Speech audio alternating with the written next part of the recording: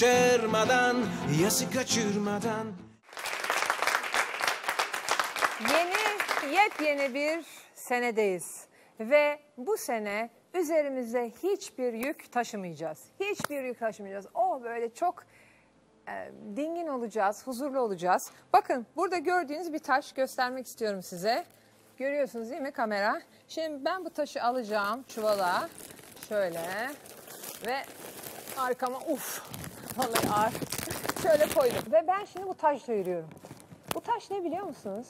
Benim affetmediğim insanlar, benim çözemediğim ilişkiler. Affetmek ne önemli bir konu değil mi? Evet, Profesör Doktor Nevzat Tarhan'ı davet ediyorum. Affetmeyi konuşacağız. Hoş geldiniz.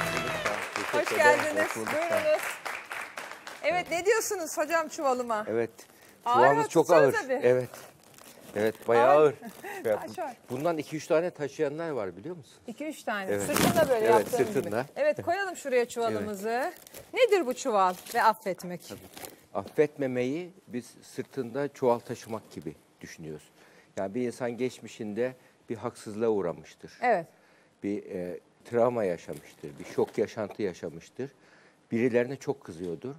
Bu e, kızma e, duygusu o kişide öfke, öfke uyandırır, depresif ruh hali uyandırır ve diğer taraftan da böyle yakınmacılık uyandırır. Bakıyorsunuz çevrede hep halinden şikayet eden, devamlı yakınan kişiler var. Onların geçmişini bir araştırdığımız zaman böyle çözülmemiş travmalar vardır. Bu her bir travma, çözülmemiş travma sırtta bir çuval gibi. Nasıl bu çuval bizim hareket alanımızı kısıtlıyor, yürümemizi engelliyor, performansı düşürüyorsa zihinsel performansımızı, duygusal performansımızı da o affetmediğimiz ya da çözemediğimiz daha doğrusu yani muhakkak affetmek gerekmiyor, çözmek önemli. Çözemediğimiz travmalar, haksızlıklar, yani insanlar arasında ilişkindeki şok yaşantılar, hayal kırıklıkları bunların çözümünü başarabilirsek o yük her çuvala atmış oluyoruz ve rahat yükümüz hafifliyor, rahatlıyoruz ve e, hareket alanımız genişliyor. Peki Nevzat Bey bu çuvala bakarsak yani bizim birçoğumuzun sırtı çuval dolu öyle değil mi? Evet. Yani çuval bir tane de içinde bir sürü taş var. Bir tane taşla hani her çözemediğimiz ilişki, her affedemediğimiz olay, her aşamadığımız olay diyelim. Sırtta taş taş birikiyor. Evet. İşte bu hani böyle konuştuğumuzda böyle öfkeli mizaçlı kişiler vardır. Yahut da gergin kişiler vardır. Hiç Evet. rahatlamayan kişiler vardır. Onlara zihin dünyalarını bir araştırdığımız zaman hep böyle yükler vardır sırtında taşıdıkları. Zihin, zihinde taşıdıkları yükler vardır. Bu yükler nedeniyle rahat olamazlar. Bir hedefe gidemezler. Ee, burada e, affetmeden önce bir şey gerekiyor, kabullenmek gerekiyor. Kabullenmek. Gerçeğe kabullenmek. Yani affetmenin bir önceki adımı e, gerçekleri kabul etmek. Şimdi affedemeyebilirsiniz ama gerçekleri kabul edebilirsiniz bazı durumlarda. Mesela sadakatsizlikler var. Nasıl affedeceksiniz? Yani böyle durumlarda e, affedilemeyecek e, durumlar kabullenmek. Kabullendiği zaman kişi şimdi şöyle bir akıl yürütme işe yarıyor. Yani çaresi varsa gereğini yaparım, üzülmeye değmez. Çaresi yoksa üzülsem de sonuç değişmeyeceği için yine üzülmeye değmez. Üzüldüğümüz bir olay var. Olay var. Bize travma yaşadan çok üzüldüğümüz bir olay var. Diyorsunuz ki o olaya bak, olayla konuş. Çaren var mı? Tamam, Varsa zaten üzülme. üzülme. Çaren Çare- yok mu? Heh. Çaren yoksa üzülsen de sonuç değişmeyeceği için yine üzülmeye değmez. Ama öyle kolay dediniz ki Değil. öyle kolay olmuyor öyle. Evet, Çünkü üzülseniz de sonuç değişmeyeceği için kendinizi yer bitirirsiniz. İşte sırtınızda yük taşıyıp durursunuz. Yani böyle durumlar ne, bu ne demektir? Kabullenin bunu demektir. Nasıl Kabullenin- kabullenilir kabul, kabullenme şöyle. İnsan böyle bir olayı kabullendiği zaman birisi bir haksızlık yaptı. Bir tanıdığınız yahut da yani sizi patron herkesin içine kötü duruma düşürdü. Böyle bir durumda hemen sinirlenip işi terk etmek yahut da işte dava açmak, hak arama paranoyasına girmek yerine böyle bir durumda haksızlığa uğradığımız zaman kişinin e, genellikle duygularımız hakkında düşünmemiz gerekiyor o anda. Du- du- hissettiğimiz duygu öfke oluyor genelde. Öfke hakkında düşündüğümüz zaman hangi ilkemiz zedelendi, hangi prensibimiz bozuldu, hangi kuralımız zarar gördü diye kişi düşünürse bu düşündüğü zaman böyle durumlarda e, olayın yüzde kaçına ben sebep oldum, yüzde kaçına karşı taraf sebep oldu. Bunun analizini yapar. Yani duygular hakkında düşünce üretir, bir adım ilerlemiş olur. Düşünce ürettikten sonra burada muhtemel çözüm yollarını düşünür. A planı, B planı, C planı düşünür. Bu çözüm yollarından birine karar verir ve ilerler. Artık dönüp bakmaz geriye. Bunu yaparsa sorun çözme stili geliştirmiş oluyor. Eğer olay değiştirilemeyecek gibi ise mesela artık bir şey kırılmış, ayağınız kırılmış size bir, birisi bir haksızlık yapmış ve kazayla da olsa kırılmış ya da bir şey yani şu anda onu tedavisi gerekenini yapıyorsun ama o kişiye sen buna sebep oldun, ne biçim adamsın, niye yaptın, niye dikkat etmedin, e, niye şöyle yapmadın demenin bir faydası var mı size? Yoktur insana. Kişinin kabullenici olması burada yani aklın gereğidir kabullenici olması. Şimdi kabullenip daha sonra da o kişi affederse bak e, affettiği kişi iki hediye verir, kendisi de dört hediye kazanır. Böyle bir durumda. Bir ya, haksızlığa uğradığı zaman onu kabullenip daha sonra ikinci aşamada affetmeyi başarırsa. Peki bir şey sormak istiyorum. Gurur var hepimizde. Bu gururla da alakalı bir şey herhalde. Tabii. Gururla affetmek arasında bir bilinti tabii. var. Hani. Yani onur hislerle korunmaz, akılla korunur. Hmm, çok güzel. Tekrar edebilir Tabii. misiniz? Yani onurumuzu korumak istiyoruz. Yani gururumuz zedelendi. Gururumuz hislerimizle koruyamayız gururumuzu. Akılla koruruz. Yani böyle durumlarda bu benim onurum kırıldı. Herkesin karşısında mahcup oldum. Bu bunu ben affedemem. O halde ben istifa ediyorum. Bu akıllıca bir hareket değil. E, Böyle bir durumda hemen onurum kırıldı. Neden kırıldı? Yani bunun ben, benim güçlü yönlerim nedir, zayıf yönlerim nedir diye hani işletmecilerin SWOT analizi gibi onu yapacak kişi kendisine. Neden böyle bir durum oldu? Ve bu böyle bir durumda e, benim onurumu kıran ki- kişiyle yüzleşmem gerekiyor mu? Peki affetmek de gururunu yenmek anlamına geliyor mu bir şekilde? Tabii işte affetmek zaten bir şeydir, erdemdir. Ve Erdemdir. kolay değildir bu. Kolay değildir. Yani affeden kimse işte iki şey yapmış oluyor. Karşı tarafa yani, yani ben senin e, senin hakkında e, hakkımdan feragat ediyorum diyor. Ve e, e, karşı tarafa e, böyle durumlarda ben senin düşmanın değilim diyor aynı zamanda. Öyle mi? Bu enteresan. Tabii. Karşı tarafa biz diyoruz ki Diyor. ben senin düşmanın değilim. Değilim. Ne demek bu? Yani şimdi karşı tarafla aranızda bir zıtlaşma var, kutuplaşma Ha, var. Bir iş zıtlaşma, yerinde, doğru. iş yerinde kutuplaşma var. Yan yan gözle bakıyorlar. Gene bana ne yapacak bu? Gene beni, benim bana çelme takacak bu. Benim paçamdan çekecek mi? Evet, çok bana, oluyor bu iş Yani yerlerinde. iş yerinde vardı. Böyle durumlarda yani bir kimse eğer yapılan bir yanlışı affederse ben senin düşmanın değilimdir diye bir hediye veriyor. İkincisi de senin lehine hakkımdan vazgeçtim diyor. Karşı tarafta savunma duygusu yerine suçluk ve pişmanlık duygusu yanıyor karşı tarafta. Ya ben buna bu haksızlığı yaptım fakat bu kimse gene ya üstün çıktı bak bana şey yaptı. Fazilet gösterdi, erdem gösterdi. Yani beni affetti diyor. Rahatsız şey oluyor. Kötücülse eğer rahatsız oluyor. İyici ise güven oluşuyor. Mesela sevgiyi artırır, saygıyı artırır, güveni artırır ve ilişkilerde korkuyu azaltır bu. E bu da yani 21. yüzyıl değeri iyi işbirliği kurmaktır. İş, yani iyi işbirliği kurabilmeyi başarabilmek bu çağın en büyük sermayesidir, sosyal sermayedir. İyi işbirliği kurabilen kişiler bu çağda ilerleyebilecekler. Yani tek başına kahramanca girişimcilikler olmuyor. Peki bir şey sorabilir miyim? Bu çuvala gelirsek, çuval dedik bizim e, yüklerimiz, arkamıza taşıdığımız, affedemediğimiz ve veya çözemediğimiz dedik. Bir de mesela e, burada pişmanlıklar da oluyor. Tabii. Kendimizi affetmek herhalde bunların en önemlisi diye Tabii. düşünüyorum. Doğru, çok güzel. Şimdi kendimi affetmek, kendimle ilgili taşıdığım da belki benim çuvalda taşlar var. Şöyle yaptım, ben niye bunu yaptım, ben niye şunu bunu yaptım filan filan diye pişmanlıklar. Pişmanlık demek kişinin e, öz eleştiri yapabildiğini ve, bir e, kendini bu konuda sorgulayabildiğini gösteriyor. Bu yüzde elli bir avantajdır kişinin. Yani pişmanlık duyabilmek bir erdemdir onu söyleyeyim. Yani insan aynı hatayı yapar, ısrarla devam eder ve hiçbir suçluluk, pişmanlık hissetmez. Yani bu, bir kişi bunu pişmanlık hissediyorsa bu yüzde elli e, kazanımdır. için. Gelişecek Tabii demektir. gelişecek demektir. Kabulleniyor Pişmanlık, çünkü. Tabii kabulleniyor.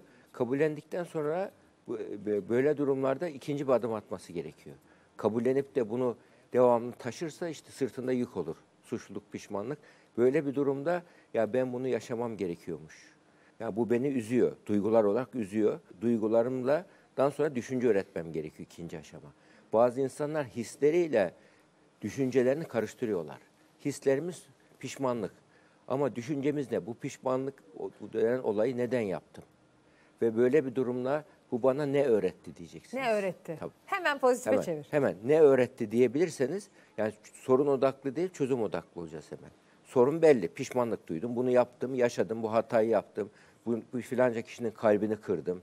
Yahut da kendimde hayati bir hata yaptım. İşte sınavı kaçırdım diyelim mesela bir öğrenci için. Onun pişmanlığını dövünüyor, yerlere vurunuyor. Böyle bir durumda bu bana ne öğretti diyebiliyorsa kimse bu pişmanlık hayatta bak başarısızlıklar çok öğreticidir. Başarısızlıklar cömerttir. Başarılar e, cömert değildir. Başarı bir şey öğretir ama başarısızlık çok şey öğretir insana. Hayatta bakıyorsunuz çok böyle e, önemli e, ilerleme göstermiş bir insan e, hatalarından ders almış insanlardır. E, hayatta öyle bir e, gizli bir yasa var ki hep böyle e, zorlamalar, zorluklar başarı getiriyor. Konfor içinde başarı olmuyor. Yani potansiyel şeyde çıkıyor ortaya böyle. e, baskılı ortamlarda potansiyeller ortaya çıkıyor. Rahat ortamlarda, konforlu ortamlarda potansiyeller çıkmıyor. Bizim yaşadığımız hatalar içimizdeki potansiyeli ortaya çıkarıyor. Evet. Onun için bu pişmanlığı kazanıma nasıl dönüştürüme odaklanacak kişi böyle durumlarda ve bu bana bunu öğretti diyecek. Hatta yazacak. Tekrar tekrar beyninde şey yapmaması için düşünce tekrarı yani ruminasyon böyle zihinsel geviş getirme yaparız bazen. Ah çok iyi. Yani Zihinsel geviş, getirme. Tabii. Ruminasyon. At gibi böyle, Aynı, zihin. devamlı ge- geviş getiririz. Yani aynı şeyi yani 10 sene önce olmuş olayı sanki dün olmuş gibi yaşar bazı insanlar. Ha, mesela biz kadınlar biraz öyle. Çok işte bö- böyle olduğu zaman da ne olur? Halbuki insan geçmişte yaşadığı bir pişmanlığı ya da bir travmayı, bir haksızlığı e, unutamaz, unutulmayabilir. Fakat sanki dün yaşamış gibi yaşamamak gerekiyor. Unutmamakta haklıdır bir insan yani onu ama bunu yani 60 dakikanın 50 dakikası bunu düşünmek yerine belki bir- birkaç dakikası düşünürsünüz. Onunla ilgili mantıksal çözümünüzü üretirsiniz, konuyu değiştirsiniz. Evet. Bunu yapamazsanız o sizin beyninizde yük olarak devam eder. Evet. Yani o taş gibi durmayacak orada. Ha, tabii. En azından Tabii, o bir kum onun tanesine dönüşse ha, olur. minyatürize edeceğiz bak. Mumyalaştırmayacağız. Evet. Biz travmaları kültür olarak bir ya da bu yük taşıyan kişiler mesela bir yakınını kaybediyor, özü, ölüyor, ölüm oluyor, yas oluyor. Onu mumya olarak aynen evde hatıraları devam ediyor. O, o bütün eşyalar olduğu gibi korumak mumyalaştırmaktır. Ama minyatürize edip küçük bir hatırasını saklayıp bir köşede ama hayata normal devam etmek onu unutmuyorsun ama onun hatırasını yaşatıyorsun ama normal hayatına devam ediyorsun. Başka büyük bir affetme var. Ee, annemiz babamız. Kimse annesi babasını seçmiyor. Ee, belli bir evde büyüyoruz ve farklı şeyler yaşıyor olabiliriz annemizle ya da babamızla. Belki bize kötü davrandılar. işte belki daha az sevgi verdiler. Belki çok sıktılar bizi böyle hani. Değil mi? Her şey olabilir. Her türlü hikaye var. Neler Tabii duymuşsunuzdur. tabii tabii. Biz anne babayı yani bu kadar yakın bizi yetiştiren ana babayı onlarla ilgili affedemediğimiz şeyler varsa nasıl affediyoruz? En çok da drone anneler vardır böyle. Drone anne. Drone Ha, anneler. helikopter anne. Helikopter anneler. Çocuğun tepesinde dolaşırlar böyle. Çok var. Çocuk böyle durumda çocuk anneye karşı hem sevgi hem öfke hisseder aynı anda. Hmm, duydunuz. Hem sevgi hem Sevgi öfke. Hem öfke hisseder. Hem sevgi hem öfke olduğu için yani onun niyetli olduğunu bilir. Fakat o derece sabun gibi o kadar sıkıyordur ki kaçıp gitmek ister. Çok gevşek bıraksa da yine kaçıp gider insan. Fakat e, böyle durumlarda annede tabii müdahalecilik puanı yüksek çıkıyor yapıldığımız testlerde böyle annede. Kontrol yüksek çıkıyor, müdahale yüksek çıkıyor. Böyle durumlarda mesela bir genç olarak annesi böyleyse annesini değiştirmek yerine anne ben ne yapacağımı biliyorum lütfen karışma. Lütfen ben ne yapacağımı sinirlenip ses tonunu yükseltip bazıları bastırıyor bastırıyor duygularını gidiyor bin defa öpüyor annesini günde. Bunu bağırttırıyor annesini. Rahatlıyor gol atmış gibi ondan sonra. Annesi öpünce rahatlıyor. Rahatlıyor hem de annesine karşı direkt öfke besletmiyor. Pasif bir öfke var orada. Yani bu tabii sağlıksız bir ilişkiye sebep oluyor. Yani böyle durumlarda ses tonu yükselerek anne ben çocuk değilim, büyüdüm. Lütfen bunu kabul et. Lütfen bana karışma. Ben ne yaptım biliyorum de. Yani an- sınır koyabilmek önemli. Sosyal sınırlar çok önemli burada. Ee, sınır ihlali çok var ama. Çok. Ya bizim toplumumuzda siz dediniz ya hani böyle yapış yapış bir toplumuz.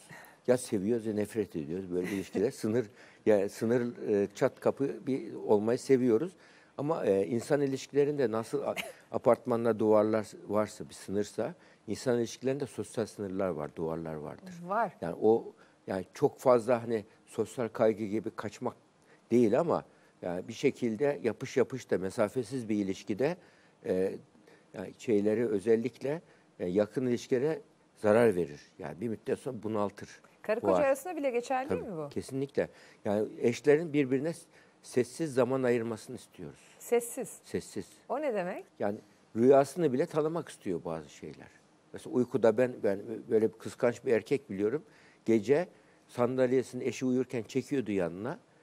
Gece uykuda bakıyordu böyle. Güldüğü zaman uyandırıyordu. Rüyanda kimi görüyordun diye. Kimi görüyormuş? Ya işte kız, kadıncağızın bir şeyden merak haberi yok. ettik burada. Ya kıskançlık yürümedi evlilikler onun. Ya adam paranoid bir kıskançlık paranoyası vardı. Kıskançlık neden olur temelinde, Ya- ya- özünde? Ya kıskançlık genellikle bu, bu hastalık derecesinde kıskançlık ve ilaçla düzeliyor. İlginç. Öyle mi? Ya. Aa kıskançlık, Kıskançlık ilaçla ilaçla düzeliyormuş. Hemen düzeliyor. eczaneye herkes. Evet. Yani ciddi şekilde o kıskançlık ben öyle senelerde düşen kıskançlığın ve bazı ilaçları düzeldiğini örneklerini çok görüyoruz. Ya ben ne saçmalık yapıyormuşum diyor. Çünkü hastalık beynin böyle durumlarda güvenle ilgili alan bozuluyor bu kişilerde. Hmm. Güven sorgulaması yapıyor. Her hareketine bir anlam yüklüyor. Bir paranoyanın bir türü olduğu için tehdit algılamasını fazla yapıyor. Ve beyin kimyasını düzelttikten sonra terapi yapmak gerekir tabii. O zaman şöyle diyelim mi e, Profesör Doktor Nevzat Tarhan? Çuvalla başladık. Biliyorsunuz bunun içinde büyük bir taş var. Şuradan tekrar gösterelim. Bu taşları dedik aman taşımayalım. Gördünüz mü kameralar taşı? Evet bu taşı dedik. Böyle büyük taşları taşımayalım dedik. Evet. İlişkileri çözelim. Affedelim. Erdem bizde kalsın. Evet. Unutmayalım ama affedelim. Affederim. Tamam. Unutmaya Evet. gerek yok. Hani bir ve büyük e, şöyle gösteriyorum ben tekrar evet şeyi e, taşımızı. Bu taşları her birimiz arkamızda taşıyoruz dedik. Evet. Ve birkaç da böyle bir en son tavsiye verebilirsek bu güzel Tabii. yeni senede Evet. bu taşları taşımamak için herkes ne yapsın? Yani yarından itibaren, bugünden itibaren 1 2 3 4 ne yapsınlar? Yani böyle burada bütün iş e, sizin o pankartlarda da çok güzel vardı. Sorun odaklı değil, çözüm odaklı düşünün. Çözüme odaklanalım. Soruna değil çözüme. Soruna değil, çözüm odaklı. Tamam. Negatife değil, pozitif odaklı. Yani. Negatife değil pozitife. Negatifeden ders alalım ama pozitife odaklı ilerleyelim. Negatiften ders alalım. alalım. Olan kötülüklerden her neyse e, ders alalım ama ilerleyelim. Ha, tabii. Nehir Ve- ileri akar. Tabii ne ileri akar onu yapalım ve e, küçük şeylerden mutlu olmayı başarabilelim. Hayat öyle böyle geçiyor. Evet. Sıradan şeylerden. Sıradan şeyler, günlük hayatımızdaki sıradan şeyler. Bir de şunu kullanmıştınız not aldım. Sorun çözme stili geliştirelim. Evet. evet. Problem çözme stili geliştirelim. Bu bir kas herhalde değil mi? Gelişiyor. Bak enteresan bir şey var. Osmanlı'da ahi yapısı var ya ahi te- esnafların. Evet. Esnaflarda ahi teşkilatında her o örgütün bir usta şeyi varmış böyle bilge bir kişisi. Birisi çuvalı alıp pat diye yere atınca böyle bu çuvalı un, un çuvalı patlamış bir gün. Un çuvalı patlayınca evladım demiş çuvalı siyasetine göre koy yerine demiş. Bak çuvalı bile usule uygun koymayı siyaset olarak tanımlıyor. Yani insanın ne yaptığı değil nasıl yaptığı da önemli. Çok doğru ve niyet Bunu- çok önemli. Niyet önemli, niyet önemli, usul önemli. Usul önemli. Bunları iyi yaparsak Adap önemli. ana önemli ve çuvalı pat diye atmak da usul hatası karşı tarafı incitir. İncitir. Zarar veririz. Yapmak istediğimiz niyetimize yani, haklıyken haksız duruma düşeriz. Evet. Tabii burada kendimizi de incitmememiz de önemli. Tabii. Çünkü kendimiz yoksa kimse hiçbir Tabii. şey yok. Zaten kendimizle olan ilişkimiz önemli, başkalarıyla ilişkimiz önemli, sosyal ilişkimiz önemli. Ama burada Yönetelim. en, kendimizi de, de diğer insanlar gibi kendimizle de sağlıklı ilişki kurabilmemiz gerekiyor. Evet. O zaman 2019 yılında önce kendimizden başlayarak, Evet, affederek, şöyle bir arınarak evet. Ee, kim varsa e, affedemediğimiz unutmayalım büyük halde değil. Yani 10 sene önce olmuş olaysa çok önemli bir şey dediniz. 10 sene önce olay böyleydi. Şimdi artık işte şu kadar şöyle minicik kalsın. Kalsın aklınızda ama Tabii. diyor hocamız mini minicik halde kalsın diyor. Tortusu kalsın diyor. Etkisi öyle eskisi gibi Tabii, olmasın olmaz. diyor. Bir de yeni yeni yıllarda yeni bir başlangıç. Dur, düşün, yeniden başla. Yeniden başla. Başla. Yeniden Tamam, başla başla. diyoruz.